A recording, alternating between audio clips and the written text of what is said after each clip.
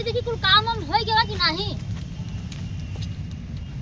काजी काम वाम हो गया? बस मालकिन हो गया बस। जल्दी से करके घर चले जाना ठीक है? ठीक बा मालकिन। ठीक है।